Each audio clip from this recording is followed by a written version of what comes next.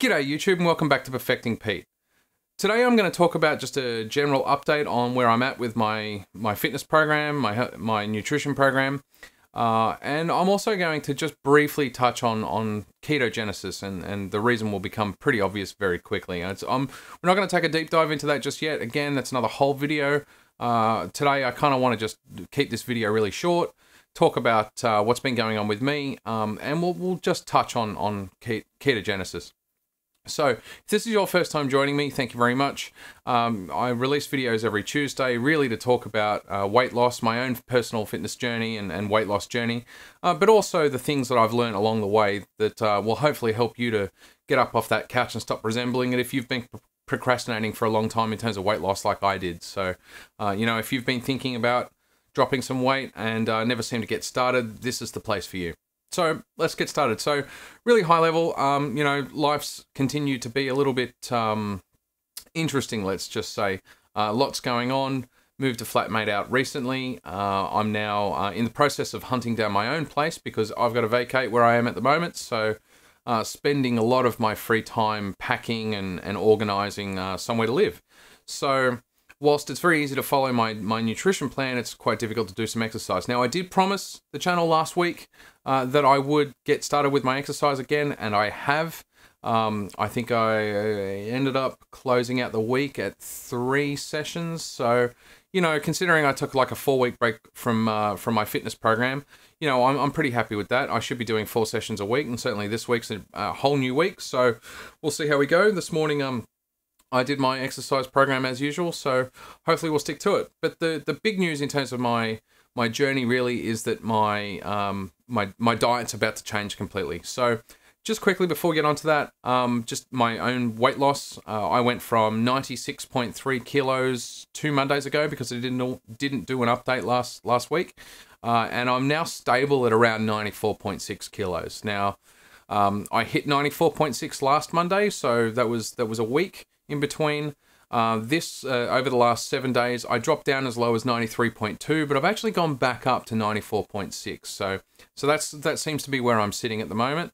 Uh, I'm not too worried about that, uh, particularly after doing uh, my, my exercise program again. So I'm assuming it's probably a little bit of muscle mass. Over the weekend, I didn't eat that great. I still stuck to my overall, um, excuse me, energy content, but I, you know, I didn't really stick to my macros. So, you know, not a major issue. I'm not too concerned about it. Uh, so, so in terms of where I'm going with my diet next, uh, it's time for keto. So, I'm throwing the entire diet out. I'm, I'm actually, I'm still following the program from Science Based Six Pack, uh, but I'm now in phase three for, for an eating plan. So, phase three kind of shifts you towards a ketogenic diet. That means I'm going to be eating a lot less carbohydrates, um, keeping moderate protein intake in terms of my macros, and I'm increasing fats considerably. In fact, it will represent about 75 to 80% of my overall diet. And that is to encourage my body to get to to get to a ketogenic state where my body is running on fats for a primary source of fuel instead of sugar uh, instead of well instead of sugar in, in, instead of carbohydrates which ultimately turns into to sugar uh, or glucose, and your body, you know, typically runs on that for fuel. So I, am going to kind of force my body to change its primary source of fuel over the next, you know, it can take anywhere from two days to six weeks. Most people average out around two weeks to to kind of re- reprogram the body to run on fat. Um, so so you end up in a program or, or in a, a diet style called ketogenesis. Uh, ketogenesis refers to um, the process of your body burning fat to turn it into an energy source. That energy source is called ketone bodies, which is where you get the word ketogenesis, the process of creating ketone bodies. It's where you get the word keto diet from. It's a shortening of, of those terms. Um, ketosis is the state that you, uh, it's the name of the state when your body is burning fat. So, you know, there are a lot of, of core advantages for, for being in a ketogenic state. The primary one, obviously, is if you're training your body to run on fat as a primary source of fuel, you'll be eating a lot more fat in your diet, but it also gets your body to start eating its own fat resources to turn that into energy, particularly when you're lowering your carbohydrate intake down to something in the range of 15% of your overall daily intake. 15%? it sounds a little high. It might be closer to five to ten percent. I'm still still kind of tweaking the program because there's a lot of lot of advice on the internet, a lot of ranges. Um, protein is also an important factor, so it's very easy to think that you can just eat protein uh, in a ketogenic diet. But one of the common mistakes made early on in a ketogenic diet is to eat too much protein. Protein can actually be turned back into sugar by your liver. So if you're on a ketogenic diet where you're trying to starve your body of blood sugar to a point where it's forced to look at fat as a as a core energy source, uh, then eating too much protein can actually throw you back out of ketosis. So, in terms of how you test for ketosis, um, there are uh, strips that you can buy from from a pharmacy or a drugstore if you're in the US, uh, and you just you wee on the stick essentially, and it will change color depending on whether or not you're in a ketogenic state. It will it will detect the presence of ketone bodies. So, core advantage, as I said before, really to start burning fat as your primary source of fuel. Uh, it also sharpens the mind.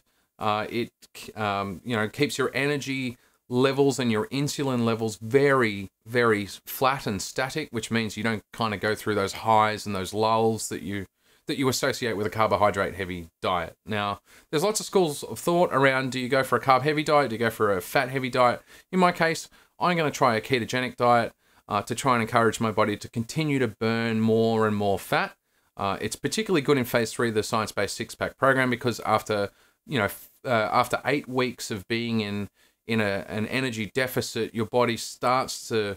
I'm expecting that your body starts to peter out in terms of how much fat it's realistically going to burn based on just a basic deficit, a, a caloric deficit. Uh, so in this case, I'm actually dropping my calorie levels down again. Uh, I'll be eating six and a half thousand kilojoules a day. I've previously been eating uh, seven and a half thousand kilojoules a day.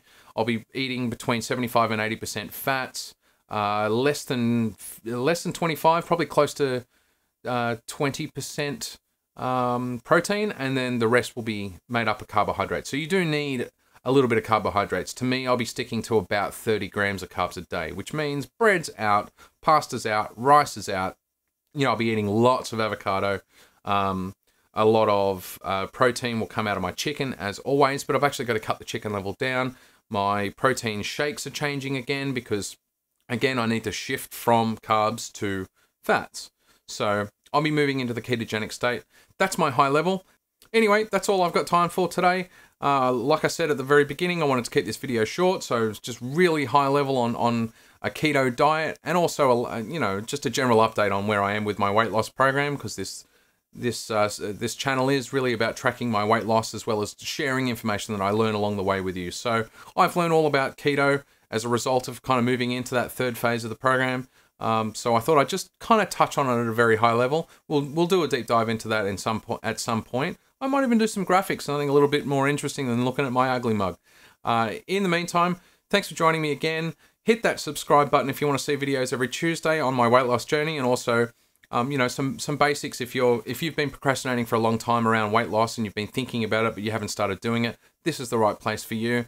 Hit that subscribe button like the video if you got a little bit of information out of it that you found useful, and drop me a comment if you've actually tried keto and let me know what your experiences are. Anyway, I'll see you next Tuesday. Thanks for joining me.